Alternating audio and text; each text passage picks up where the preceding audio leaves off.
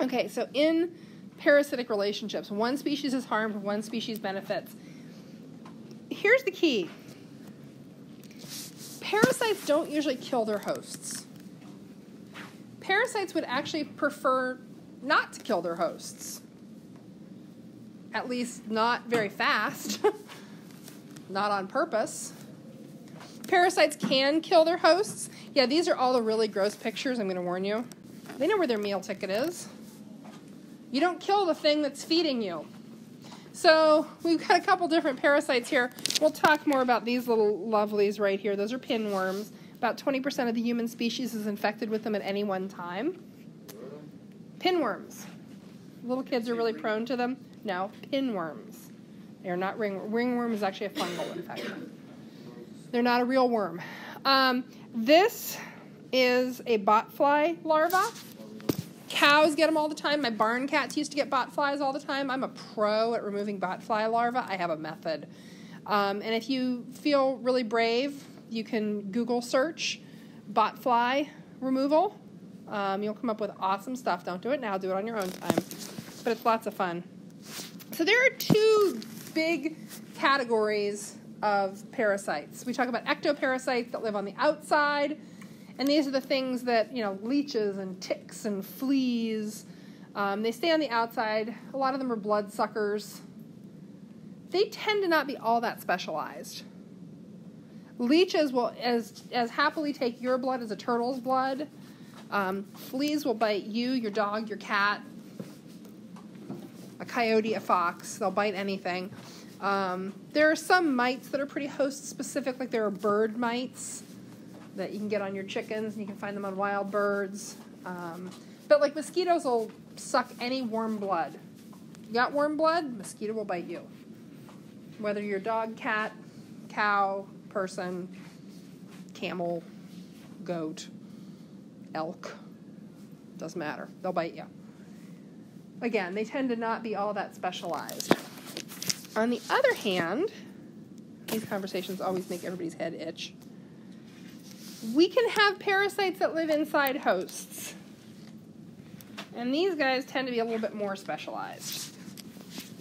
So these are endus, um, endoparasites. So tapeworms, that is a tapeworm in a human gut right there. That's somebody's colonoscopy. They went to get their butt checked for cancer, and the film came up with a little surprise friend. Um, yay that's a trout with, I think, flukes. Oh no, tapeworms, adult tapeworms. Um, and then the last one is another colonoscopy picture. There are a lot of colonoscopy pictures of parasites. Um, do you know what a colonoscopy is? You won't have to deal with it for another like 30 years, sometime between 40 and 50 based on family history. They make you drink this stuff that cleans out your entire intestine in the course of about six hours, and then they shove a camera up your butt you're sedated for the whole thing. It's really not bad. Um, and it's way better than dying of rectal cancer. My best friend died of rectal cancer. I'll take a colonoscopy any day. Um, they have actual video of up your butt. They look at the entire colon. And you can choose to be awake for that and watch the little screen. Most people have want no part of that. Um, that's the choice most people make. Um, but you know, if you want to see what's inside your body, I'm torn. I'm torn between between the wow, that's kind of cool, and no, I don't want to see that. So anyway, um, that's footage from inside somebody's colon. Well, there's the the goal is that when you have your colonoscopy, there's nothing in there because the stuff they give you to drink the 12 hours before your colonoscopy gets rid of everything. It's a rather unpleasant evening. Um, but sometimes they get footage with a parasite. If you didn't know you had tapeworms, you might wake up from your colonoscopy and be told, by the way, you're going to need to take a wormer. Because it's just like worming dogs and cows and sheep and goats. Um, humans have wormers too. and your doctor can prescribe it. It's a couple doses and it all comes out your butt. So I, I will pause here for one moment so the, the, the fact is, these things do things to ensure that their lifestyle, life cycle needs are met. So pinworms need to go from butt to mouth. They need to be transmitted from somebody's anus to somebody's mouth in order to complete their life cycle. Which means scratchy fingered little kids handing you cookies. What does this mean if you have a small child at home? Don't accept their food. Don't accept their food. Use a nail brush. Nail brushes are your friend. Scrub their little fingernails with a brush because the eggs lodge under the fingernails. You don't have to get literal feces in your mouth. All it takes is a kid who's been scratching their butt handing you food. Anything that they're handing you where your hands are going to end up on your mouth. Like, oh, here's your ice cream cone. Can I take a lick? Here, I'll hold your ice cream cone. And that, no, don't do it. Don't do it. They're disgusting little things. Um, Yeah. did you go to the elementary and see little kids? No, I felt sick. Oh, okay. And you have me after lunch. Lucky you. Think about fifth period who has me before lunch. Lucky them. Um, so, anyway, a lot of these parasites do things that specifically help them complete their life cycle. So, with that in mind, let's talk a little bit about a couple things. Parasites made you who you are. Why do we have skin rather than just a big old cell membrane? It's protecting us from things. It's protecting us from all manner of things. Why do we have a tear duct in the corner of our eye? It flushes out dirt, it flushes out bacteria, it flushes out pathogens. Why do we have mucus? It traps bacteria and pathogens and parasites. All these things made you who you are. They drove the evolution of species to end up with the creatures we've got in front of us today. You like you like the system you've got? Think a parasite. Hopefully not by scratching your butt. Um, so parasites have driven the evolution of species. Now the question is, can they also change ecosystems? Because that's really what we're here for. You do not have this slide. So you can write down some pieces, you can take a picture of it.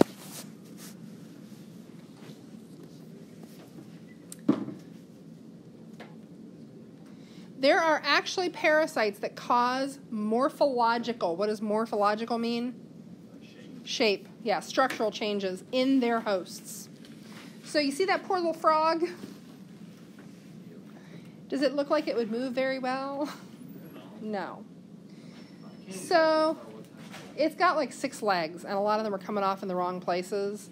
And the legs it's supposed to have aren't necessarily completely well formed. Um, so there were a number of these sort of extra special deformed frogs that started showing up in the 90s. Um, and they were found in Minnesota and they were found in a few sites out west. And immediately there was sort of concern about, you know, well, what's causing this? Is it some kind of pollutant? Is it, you know, radioactive waste? Is it, you know, toxic chemicals?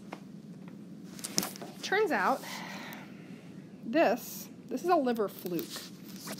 So when somebody says, like, ah, it's just a fluke, they don't mean what I mean when I say fluke. Flukes are a type of flatworm parasite, they're a parasitic worm. And a lot of flukes go through multiple life stages. Um, there are a couple of them that, um, darn it, are involved in, they, they come through snails at some point in their life. So the eggs are in the snail's gut, and when the snail poops, the eggs end up in the water. Um, there are some that involve ducks. There are sheep liver flukes that end up in a sheep liver. Humans can be affected by liver flukes. This particular fluke has a lifestyle that goes from snail to frog to bird. So, what has to happen for the fluke to go from frog to bird? Frog's got to get eaten. Frog has to get eaten, or it's a dead end. They have to end up in a bird to complete their life cycle. Wait, birds eat frogs. Well, interestingly enough, there are a number of aquatic birds that will opportunistically eat frogs if they can't get away. Oh, aquatic. This liver fluke, So cardinals aren't going to go down. no, cardinals are seed eaters pretty much. But um, things like great blue heron and other aquatic diving birds. Pelicans. Um, yeah, but not in the places we find these. It would must be like herons and cranes. I like pelicans. These frogs, the liver fluke attaches to their limb buds as they're developing from tadpole to frog stage. And it causes deformations of the limbs, which means these frogs cannot get away, which means, guess what? They get gobbled up, which allows the fluke to complete its life cycle.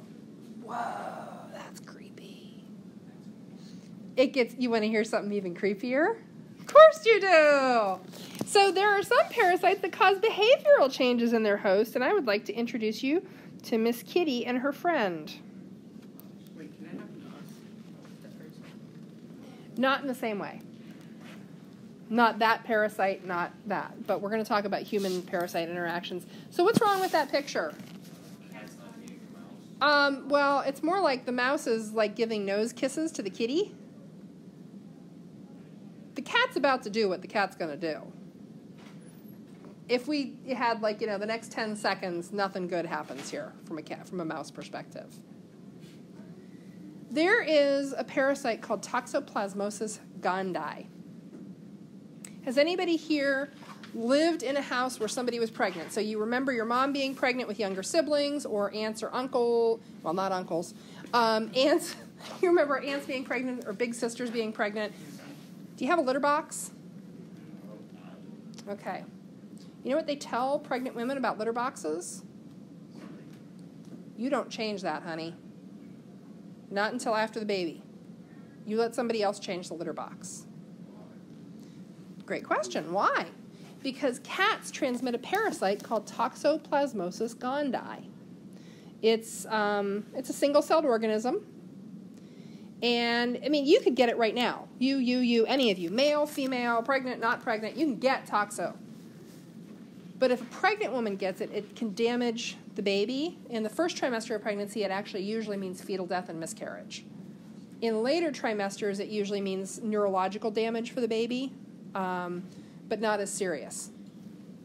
Well, the Toxoplasmosis gondii goes through two hosts mice and cats. Humans are just sort of an accident. We're not one of its intended hosts, but we, we end up um, getting it sometimes. It's more common than you would think. So, what's weird is that toxo in mice changes their behavior. And you know what happens? They lose all fear of cats. Hi, kitty. Is that awkward? Sorry. See, Nathan's not here for me to make uncomfortable, so I have to pick on somebody else. Um, they completely lose their fear of cats. They will rock right up to cats. They'll do that, thus ensuring that the parasite gets transmitted to the cat. Isn't that creepy? Zombie mice being controlled by a parasite in their brain. Now, you want to hear something stranger? You asked about human effects on parasites. There's been some early preliminary research, and they only, as far as I know, they only looked at women. Somebody can look this up and fact check me. Female humans affected with Toxoplasmosis gondii have higher rates of suicidal ideation. That means suicidal thoughts. They suspect that it's the parasite doing the same thing it does on the mice to humans. Though in women, it doesn't play out as like no fear of cats because most humans are not all that afraid of cats anyway. But it, it still plays out in terms of mental alteration. It's creepy. It's downright creepy. Now, what what happens if you get if you're pregnant and you're a female and you contract toxo while you are pregnant? My uncle-in-law, my husband's uncle, and he's 60 something. But he was the fifth of five kids. Like nobody pays attention to number 5 apparently. This is what I hear. Things were a little bit rough for a while there. And well, you know. Anyway, he went to sign up for the army when he was 18. Now, you guys get eye tests in kindergarten. My daughter got an eye test in kindergarten. They didn't do that stuff when he was a kid. He goes to sign up for the army at 18, and he, they tell him, Well, you can't be in the army. You're blind in one eye. I'm what?